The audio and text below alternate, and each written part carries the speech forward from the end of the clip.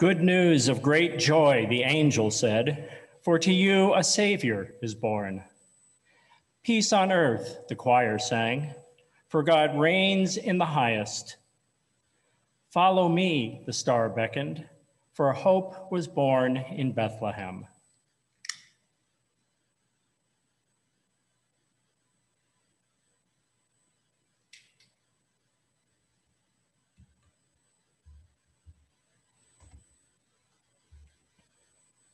As we light the Christ candle, we watch for the Christmas story around us. Emmanuel has come and is coming. Come, all ye faithful, and worship God.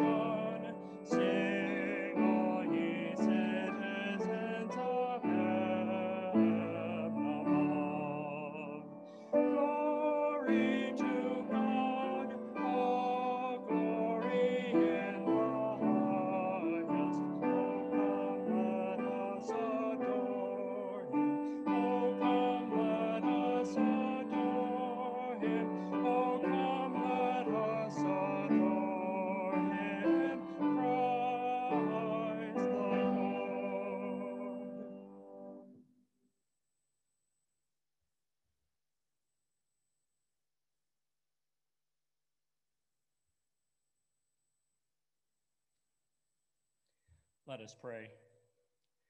God of peace, you hold the nations in your hand, yet know and love us all. By your Spirit, you gather us. In Christ, you make us one. As we come together, show us who we are, what we can be, and where we should go. Through Jesus Christ, our rescuer, partner, and friend.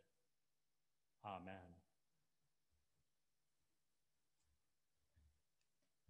Tonight, we tell the story of God's love in Jesus Christ in scripture, poetry, and song.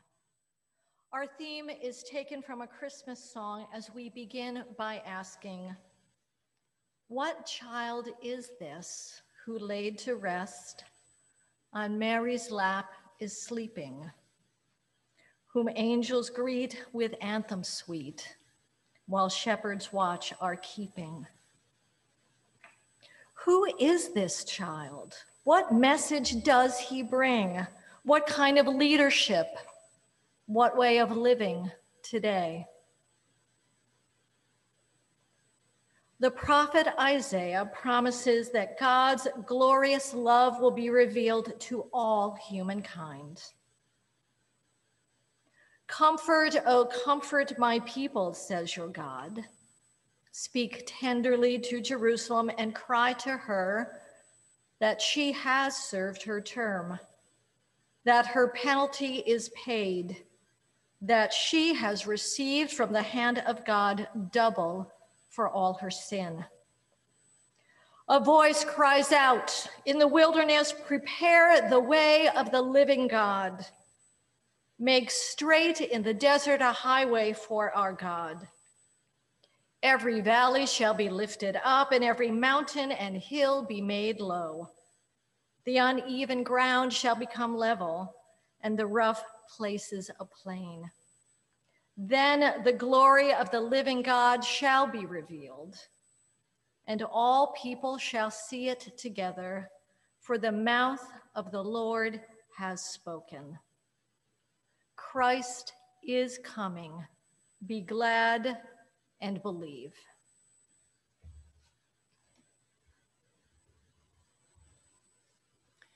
BC AD. This was the moment when before turned into after, and the future's uninvented timekeepers presented arms.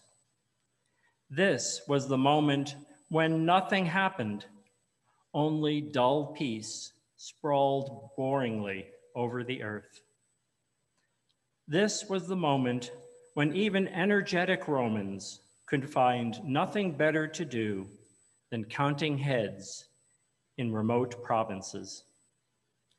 And this was the moment when a few farm workers and three members of an obscure Persian sect walked haphazard by starlight straight into the kingdom of heaven.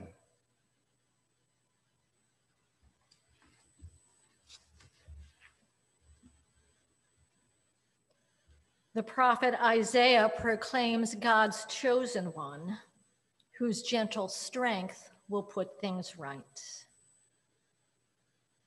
Here is my servant whom I uphold, my chosen one in whom I take delight. I have put my spirit on him. He will establish justice among the nations. He will not shout nor raise his voice or make himself heard in the street. He will not break a crushed reed or snuff out a smoldering wick. Unfailingly, he will establish justice. He will never falter or be crushed until he sets justice on earth, while coasts and islands await his teaching. Christ is coming. Be glad and believe.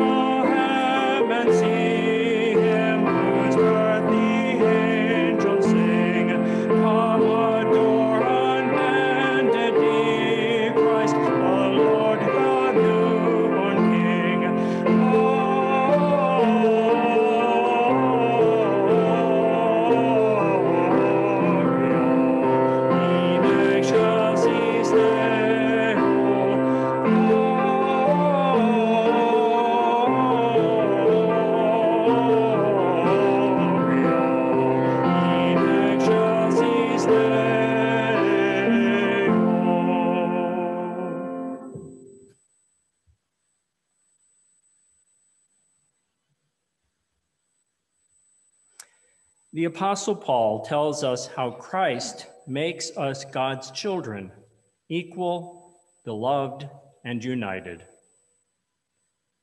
But when the fullness of time had come, God sent his Son, born of a woman, born under the law, in order to redeem those who were under the law, so that we might receive adoption as children.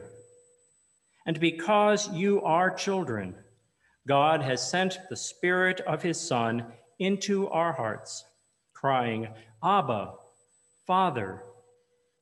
So you are no longer a slave, but a child.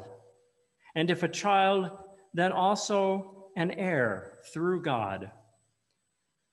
As many of you as were baptized into Christ have clothed yourselves with Christ. There is no longer Greek or Jew. There is no longer slave or free. There is no longer male and female. For all of you are one in Christ Jesus. Christ is coming. Be glad and believe.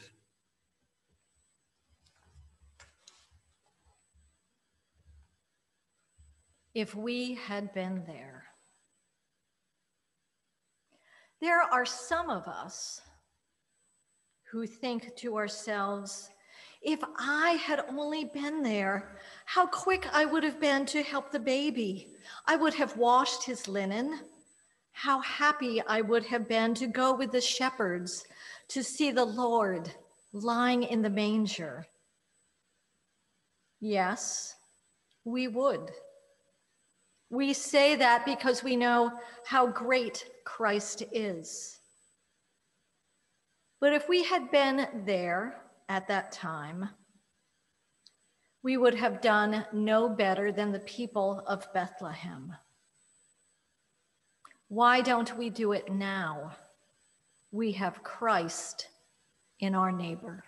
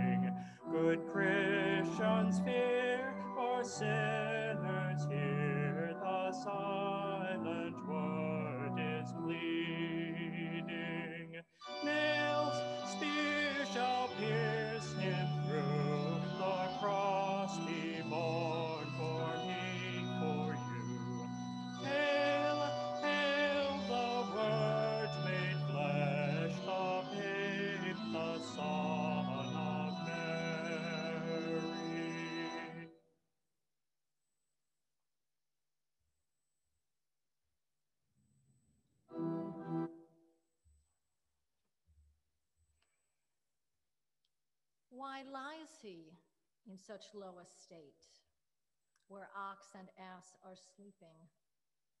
Good Christians fear, for sinners here the silent word is pleading. What does it mean that Jesus was born not in a palace or a comfortable home, but outside in a cave for farm animals? Against the backdrop of an imperial occupying power counting its subject population in order to levy taxes, a servant of peace is born.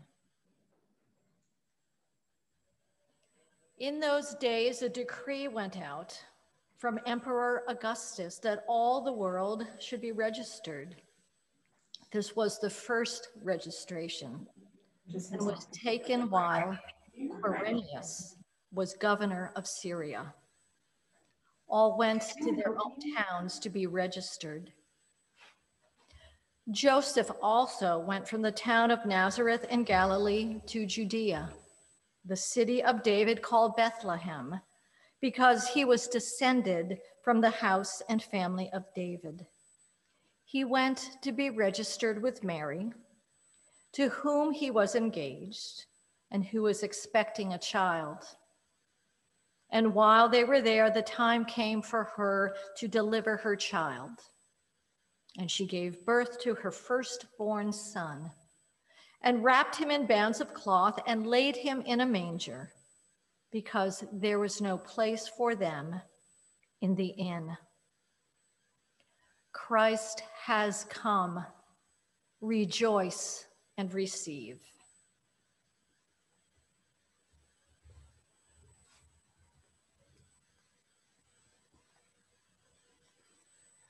Let the stable still astonish.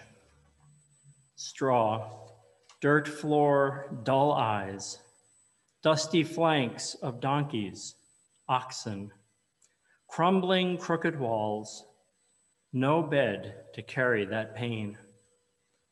And then the child, rag wrapped, laid to cry in a trough. Who would have chosen this? Who would have said, Yes, let the God of all the heavens and earth be born here in this place?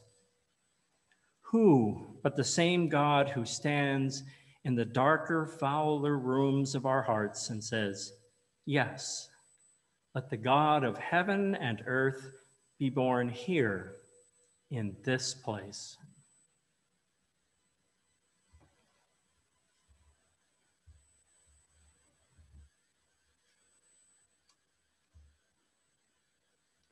When the angels had left them and gone into heaven, the shepherds said to one another, Let us go now to Bethlehem and see this thing that has taken place, which God has made known to us. So they went with haste and found Mary and Joseph and the child lying in the manger. When they saw this, they made known what had been told to them about this child, and all who heard it were amazed at what the shepherds told them. But Mary treasured all these words and pondered them in her heart. The shepherds returned, glorifying and praising God for all they had heard and seen as it had been told them. After eight days had passed, it was time to circumcise the child. He was called Jesus, which means liberator, deliverer, the name given by the angel before he was conceived in the womb. Christ has come.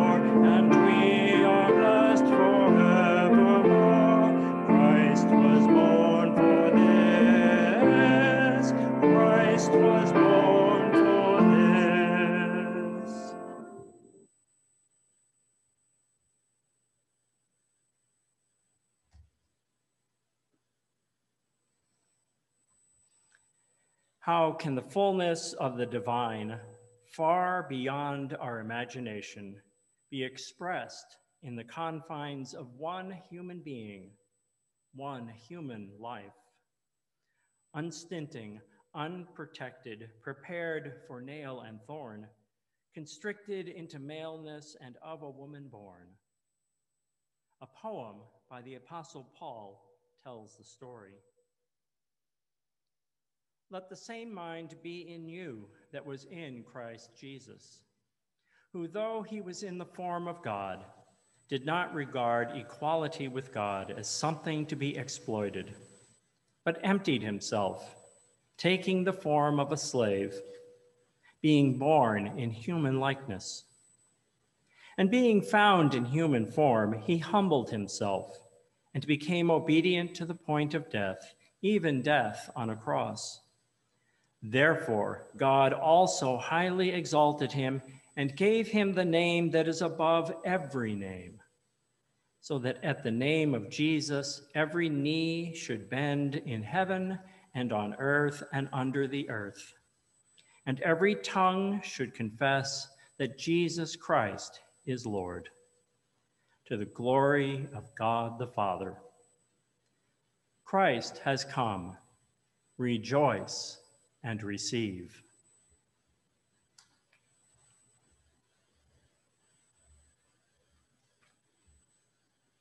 where shepherds lately knelt. Where shepherds lately knelt and kept the angel's word, I come in half belief, a pilgrim, strangely stirred. But there is room and welcome there for me. But there is room and welcome there for me. In that unlikely place, I find him as they said, sweet newborn babe, how frail and in a manger bed. A still small voice to cry one day for me. A still small voice to cry one day for me. How should I not have known Isaiah would be there, his prophecies fulfilled? With pounding heart, I stare. A child, a son, the Prince of Peace for me. A child, a son, the Prince of Peace for me.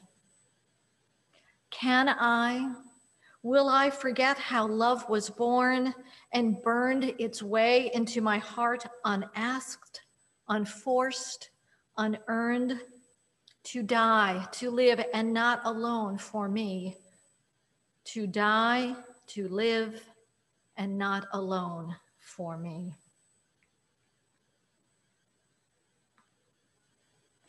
The reign of Christ comes not by conquest, domination, and manipulation, but by gracious love, gladly given and willingly received.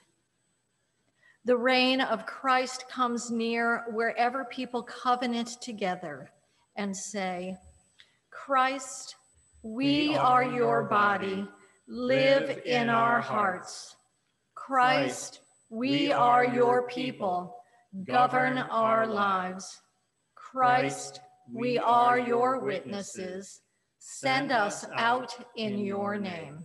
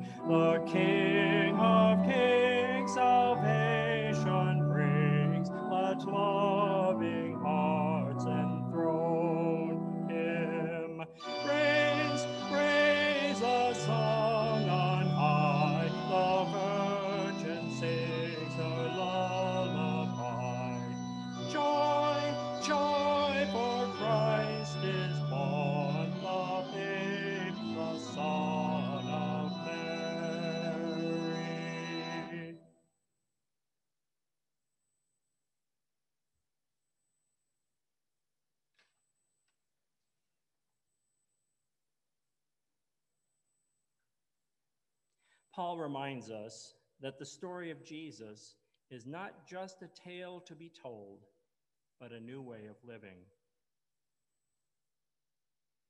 As you have received Christ Jesus the Lord, continue to live your lives in Him, rooted and built up in Him, and established in the faith, just as you were taught, abounding in thanksgiving as God's chosen ones, holy and beloved, clothe yourselves with compassion, kindness, humility, meekness, and patience. Bear with one another, and if anyone has a complaint against another, forgive each other. Just as the Lord has forgiven you, so you also must forgive. Above all, clothe yourselves with love, which binds everything together in perfect harmony. And let the peace of Christ rule in your hearts, to which indeed you were called in the one body, and be thankful. Christ is the way, the truth, and the life. Rejoice, believe, and follow.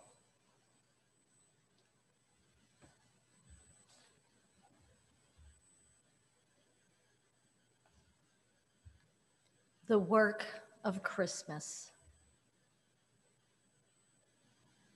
When the song of the angels is stilled, when the star in the sky is gone, when the kings and princes are home, when the shepherds are back with the flock, the work of Christmas begins to find the lost, to heal the broken, to feed the hungry, to release the prisoner, to rebuild the nations, to bring peace among brothers, to make music in the heart.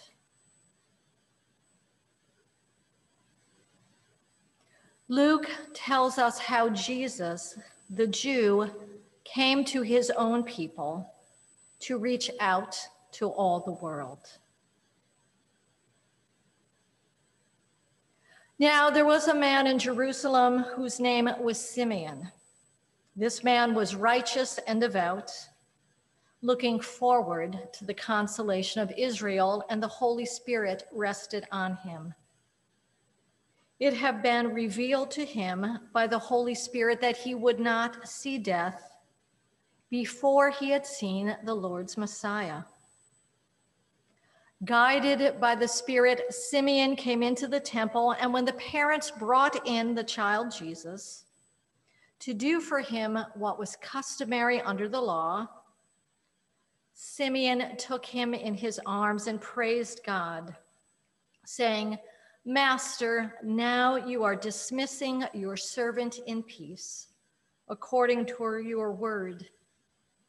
For my eyes have seen your salvation which you have prepared in the presence of all peoples, a light for revelation to the Gentiles and for glory to your people, Israel. Christ is the way, the truth, and the life. Rejoice, believe, and follow.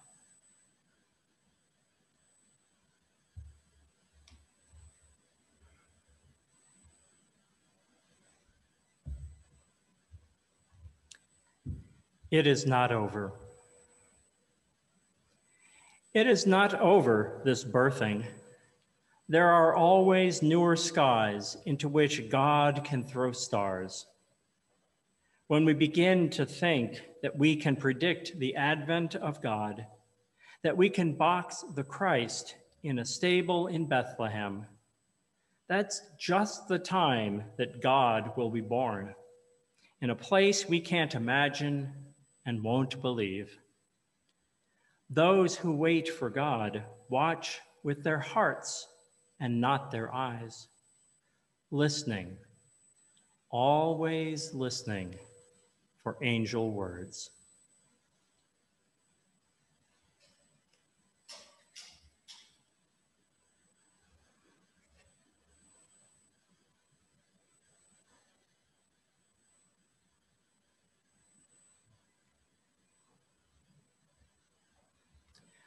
Christ, the light of the world, gives each one of us light so that we too may shine with gratitude, hope, and love. And while we are physically separated from each other, God's Spirit joins us together in one body. So receive the light that comes to you through God's Spirit. It comes from the Christ candle receive the light, hold the light, enjoy the light, and be thankful.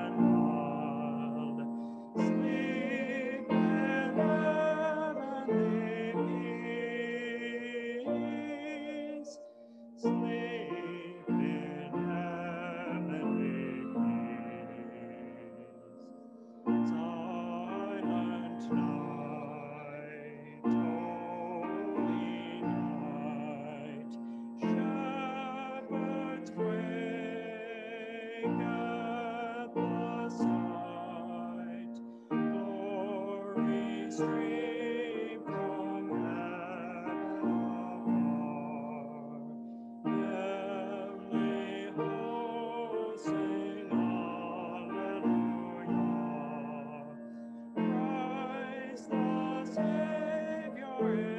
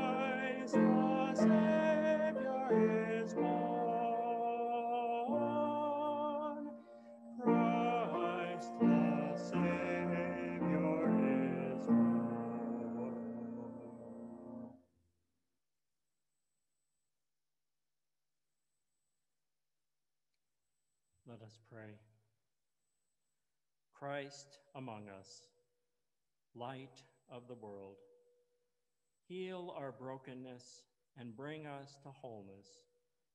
Ease our pain and bring us hope, strength, and life. Give us new heart, new hope, and a new song, that our prayers and deeds may be one. We ask it in your name. Amen.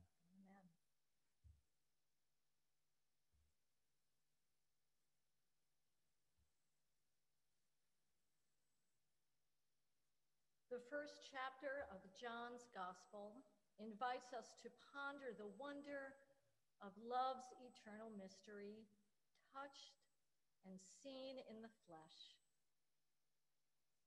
In the beginning, the Word already was. The Word was in God's presence, and what God was, the Word was. The Word was with God at the beginning, and through the Word, all things came to be. In the Word was life, and that life was the light of humankind. The light shines in the darkness, and the darkness has not overcome it. There appeared a man named John, sent from God. He was not himself the light, he came to bear witness to the light. The true light, which gives light to everyone, was even then coming into the world. So the Word became flesh and dwelt among us. And we saw the Word's glory, full of grace and truth. Christ is the way, the truth, and the life. Rejoice, believe, and follow.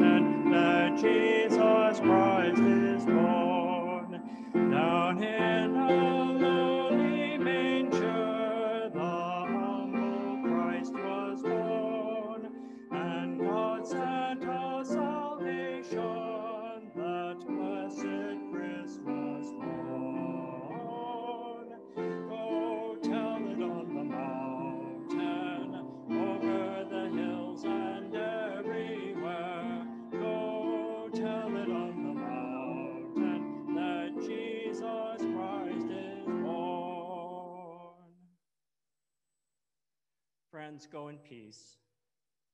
May the love that made the stars be your guiding light.